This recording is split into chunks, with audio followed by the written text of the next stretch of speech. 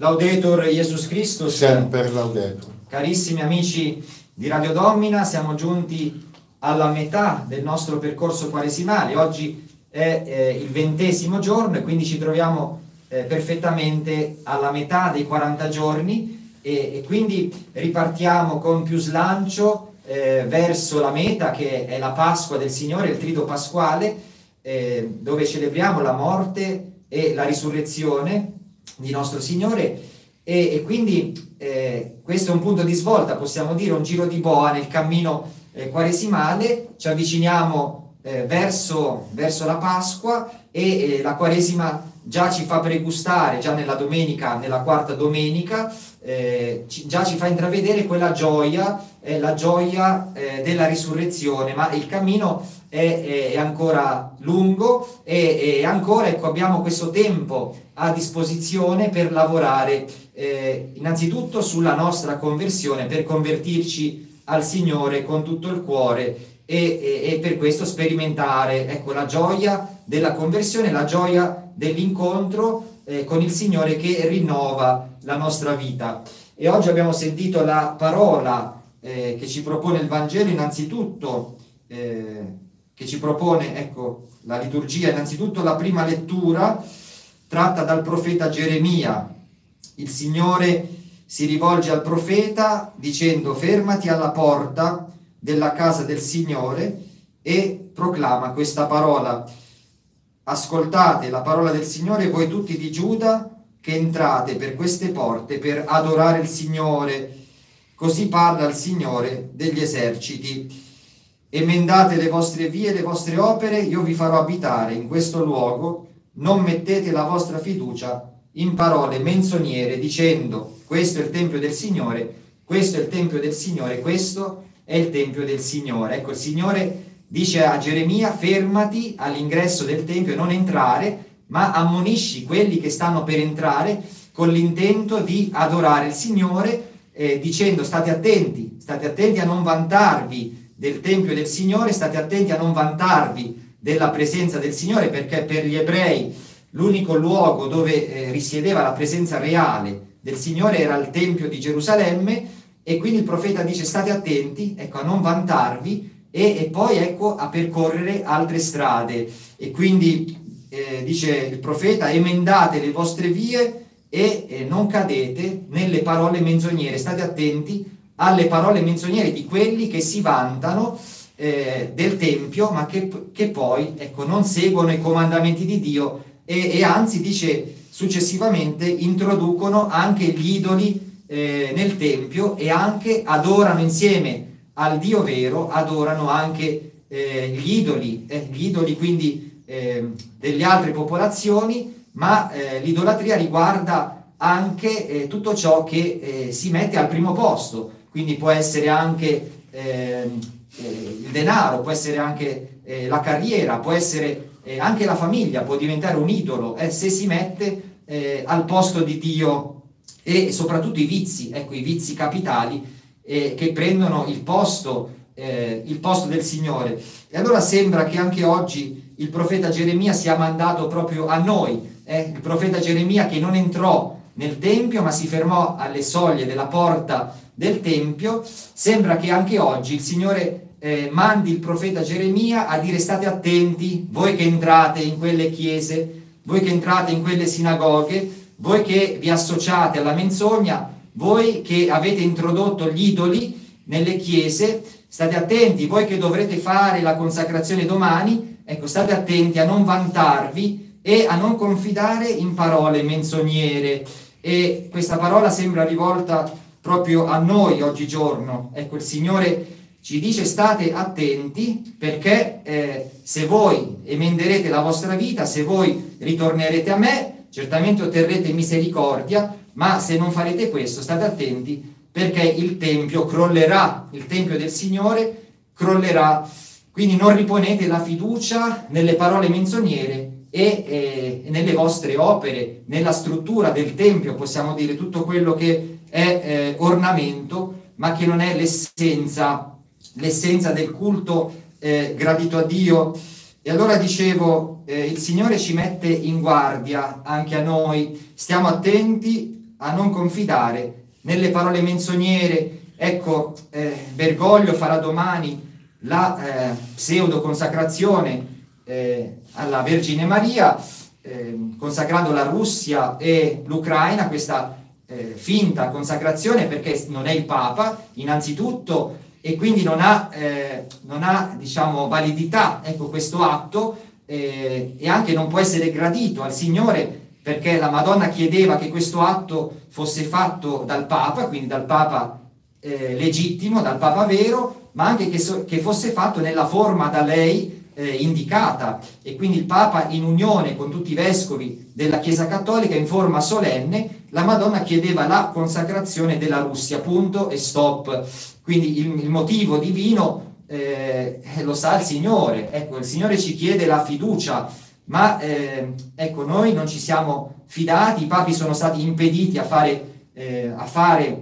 eh, questo, questo atto solenne nel modo indicato dalla Madonna e quindi questo atto effettivamente non è stato ancora fatto così come il Signore lo chiedeva. E allora dicevo, eh, ho letto anche quella preghiera che è stata diffusa, che, eh, che appunto eh, è più una messa in scena che una preghiera che serve a edulcorare il messaggio vero di Fatima, a metterlo nel dimenticatoio e, e a porre nella speranza eh, non nel, nel, nella rivelazione del Signore, non in quello che chiede il Signore, ma porre la speranza eh, nelle forze umane, possiamo dire. E eh, dicevo,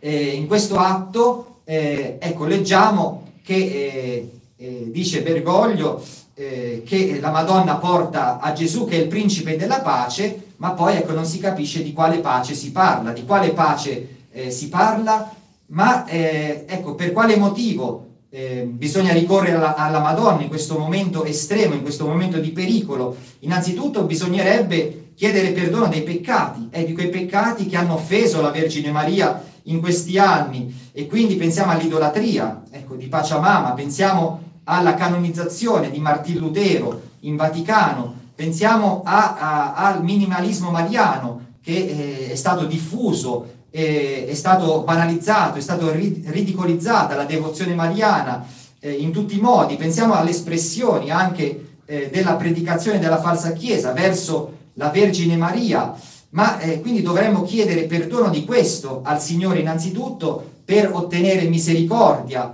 ma poi anche eh, dei peccati, eh, quelli che trafiggono il cuore di Gesù, il cuore di Maria, quindi peccati contro i dieci comandamenti. Pensiamo solamente al peccato di aborto, eh, degli aborti è una piaga che devasta l'umanità, ma eh, che trafigge il cuore di nostro Signore. Madre Teresa diceva che finché eh, ci saranno gli aborti sulla faccia della terra, no, il mondo non potrà trovare la pace, non potrà eh, essere riconciliato con Dio finché eh, viene disprezzata la vita. E pensiamo quanti milioni, se non miliardi, di aborti vengono praticati eh, nel mondo. Ecco, di questo dovremmo chiedere perdono al Signore, del peccato eh, di bestemmia, del peccato di dissacrazione. Pensiamo alle chiese dissacrate, abbiamo visto anche di recente in una chiesa di Palermo si balla il tango, eh? ma ormai queste scene sono eh, talmente abituali che non provocano neanche più lo sdegno da parte, eh, da parte dell'opinione pubblica, da parte de- di coloro che si definiscono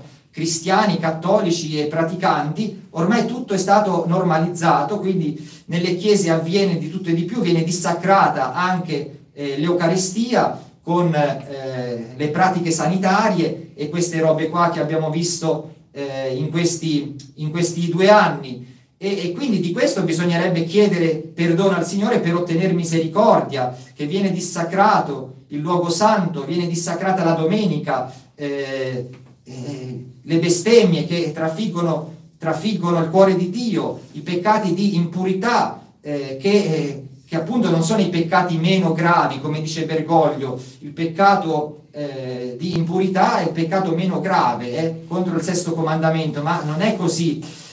Ma eh, questa Chiesa eh, di Bergoglio non chiede perdono, pensa di ottenere misericordia con questo atto di pseudo consacrazione, pensa di ottenere misericordia dal Signore, dalla Vergine Maria, eh, a parole, eh, ma senza, senza pentirsi dei peccati che offendono Dio. E, e quindi eh, si dice in questa preghiera, ecco, abbiamo disatteso le speranze della comunione dei popoli, delle comunità internazionali, robe di questo tipo, abbiamo, eh, abbiamo deviato dalla via della fraternità. Ecco, allora capiamo che la pace che persegue questa Chiesa non è la pace di cui ci parla il Vangelo, la pace che viene solo da Cristo, che viene solo dalla riconciliazione con Dio, cioè emendandosi dai peccati, ma è la pace che persegue la massoneria, è, è la pace eh, che persegue appunto il nuovo ordine mondiale, una pace fatta dalle mani dell'uomo, una pace che eh, non è dono eh, dall'alto, ma è una pace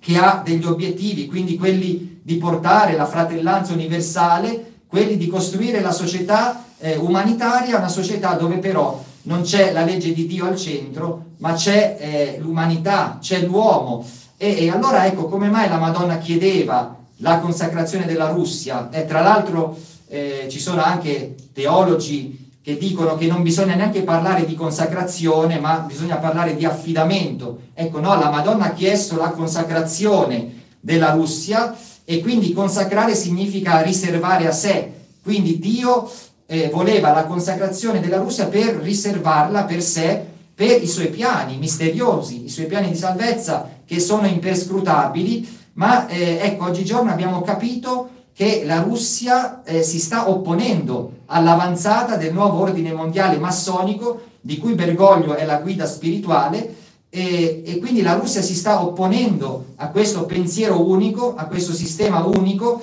a, a questa unità massonica eh, delle nazioni e, e, quindi per questo motivo, eh, per questo motivo eh, fa paura diciamo, a, eh, a, coloro che hanno costruito quella società anticristica, quella società eh, senza Dio, quella società che non ha più il timore di Dio, ma che ha messo le leggi umanitarie al posto della legge di Dio. E allora leggiamo in questa preghiera che eh, eh, l'errore, il peccato dell'umanità è quello di non aver costruito la fraternità. Ma Gesù ecco non è venuto a parlarci di fratellanza universale, Gesù è venuto a salvarci, è venuto a salvarci dal peccato e finché non combatteremo la radice di ogni male che è il peccato e quindi tutto ciò che si oppone ai dieci comandamenti santi di Dio, non ci potrà essere la pace. Finché l'umanità non accoglierà il Signore come Salvatore, non riconoscerà in Gesù Cristo il principe della pace, sì, ma l'unico Salvatore, eh, colui che porta la redenzione dal peccato e eh, non viene a costruire fratellanze universali, a, a salvare la casa comune, eh, Gesù viene a salvarci dal peccato che è la radice di ogni male, finché non accetteremo questo non ci potrà essere pace sulla terra e questo non lo dice Don Enrico, ma lo dice chiaro la parola di Dio e Bergoglio ecco dice così, la Chiesa è una famiglia di fratelli, questo non è nella preghiera, è un altro pensiero,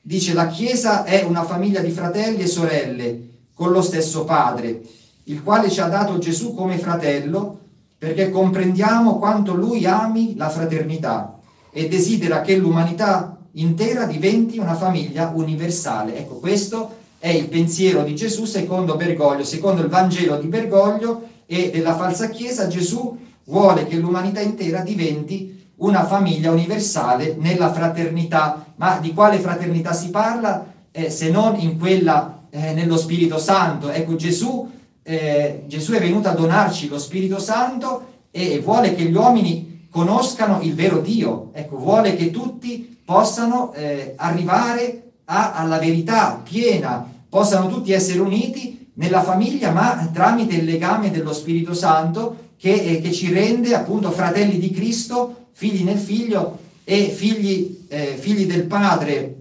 Capiamo allora che questi ideali non sono gli ideali del Vangelo, ma sono gli ideali della massoneria e quindi questo per noi è sempre più chiaro eh, ogni giorno che passa e, e quindi capiamo bene che l'inganno è grande e dobbiamo stare attenti, e stare attenti a non cadere in questi inganni, a prendere le distanze e a dire apertamente eh, l'inganno, l'errore. Ma la consacrazione vera alla Vergine Maria è la consacrazione che ci porta sempre a Cristo, che ci porta sempre a riconoscere Cristo come unico Dio, come unico Salvatore, cosa che eh, la falsa Chiesa non fa e non dice e, e non può neanche eh, predicare, eh, perché se non riduce Gesù Cristo non può raggiungere quegli obiettivi di ecumenismo, di fratellanza universale, massonica che persegue. E la parola del Vangelo che abbiamo ascoltato ci parla di Gesù, ecco, che, eh, che si manifesta essere Dio, figlio di Dio,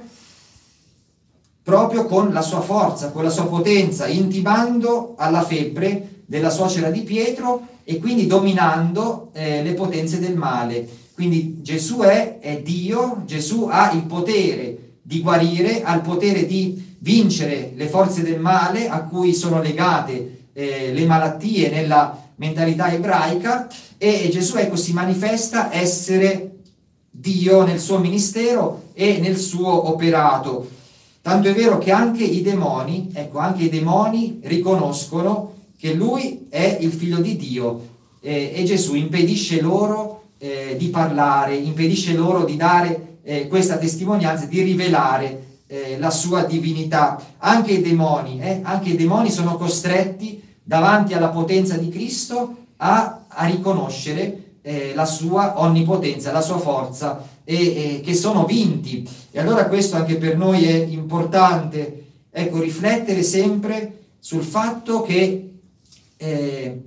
che Gesù è più forte, che Gesù eh, può vincere ogni potenza di male, quindi il male fisico, il male morale e il male che, che si abbatte sull'umanità Gesù con una sola parola può ordinare ai demoni eh, di, eh, di, stare fermi, eh, può ordinare ai demoni di, essere, di andare via, può ordinare eh, a Satana di essere incatenato. E, e, quindi, ecco, per noi, ecco, questo anche è, è, è un messaggio importante, ecco, capire che Gesù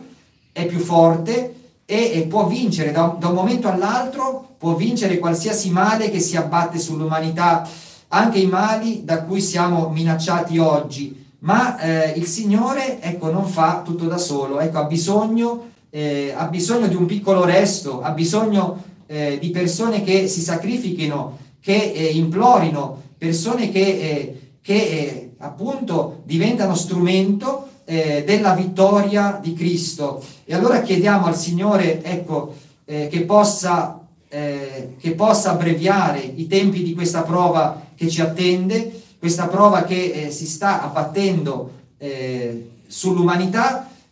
questa prova che eh, è causata dal male nel mondo, dal peccato, ma soprattutto da una chiesa apostata, da una chiesa che ha introdotto gli idoli. Abbiamo visto appunto dopo i fatti di Pachamama eh, come appunto è avanzato il male nel mondo, come è avanzata eh, questa pandemia, come è cambiata la società in così poco tempo, come eh, eh, hanno preso il potere i nemici di Cristo sempre di più e tanto da negare anche le libertà fondamentali eh, de, delle nazioni, garantite anche dalle Costituzioni. E allora capiamo bene che eh, il mistero di iniquità avanza sempre più, ma Gesù è più forte, Gesù è il vincitore. E allora se siamo uniti a Lui, anche noi saremo vincitori insieme a Lui, anche noi parteciperemo della sua, eh, della sua vittoria e quindi dobbiamo sempre avere questo sguardo di fede sugli avvenimenti, eh, sugli avvenimenti che si svolgono sotto i nostri occhi, mai ecco, cadere nella trappola, nello scoraggiamento, mai cadere nella tentazione di pensare che eh, il male è più forte. Ecco, Gesù è il Signore, Gesù è il Re eh, Gesù deve regnare sulla terra, eh, in cielo, deve regnare nei nostri cuori e ripeto, finché l'umanità non accoglierà il Signore come Re della pace, finché Cristo non regnerà nei cuori eh, degli uomini, finché Cristo non sarà conosciuto e accettato e adorato da tutti i popoli, non potremo mai avere la pace. Allora ripetiamo quelle parole del profeta state attenti, ecco, non andate dietro alle false eh, parole, state attenti quando diranno pace, sicurezza, fratellanza, state attenti quando vi prometteranno una pace a basso costo. Ecco, la pace può venire solo eh, da Gesù Cristo e, eh, e, dai comandamenti di Dio. Finché l'umanità non accoglierà questo, non ci, non ci potrà essere la pace. E allora quelle parole dette dal Signore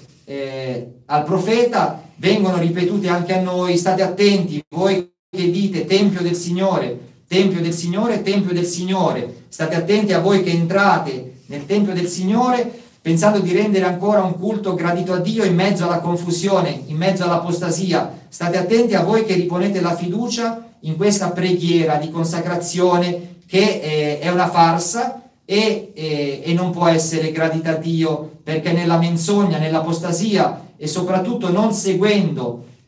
quello che Dio chiede, gli appelli del cielo, eh, non ci può essere, non ci può essere eh, un frutto di grazia, non ci possono essere frutti di pace. Ecco, stiamo attenti eh, se ci sarà un momento di pace, ma sarà una pace apparente, sarà una pace eh, che non durerà a lungo, sarà eh, appunto quella parola del Signore che dice state attenti, quando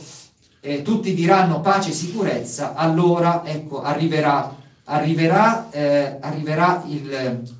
eh, la rovina, ecco, arriverà eh, il castigo, arriverà eh, la voce di Dio dal cielo. E allora più che mai apriamo gli occhi della fede, più che mai siamo aggrappati alla corona del rosario. La Madonna ha detto anche che non c'è problema, situazione eh, familiare, sociale, internazionale, eh, qualsiasi situazione che non si possa affrontare con la corona del rosario in mano. E allora eh, per noi la corona del rosario, la croce di Cristo sono tutto. E anche noi siamo chiamati ad essere quegli apostoli degli ultimi tempi di cui parlava il Monfort, eh, quegli apostoli con il rosario in una mano, il crocifisso nell'altra mano, quegli apostoli che dicono la verità eh, ad alta voce, quegli apostoli che non guardano in faccia a nessuno, ma che hanno messo al primo posto il Signore, quegli apostoli che eh, hanno parola di fuoco, quegli apostoli che eh, anticiperanno il ritorno eh, di Cristo eh, e la vittoria del cuore immacolato di Maria. Laudetur Jesus Christus. Sempre laudetur.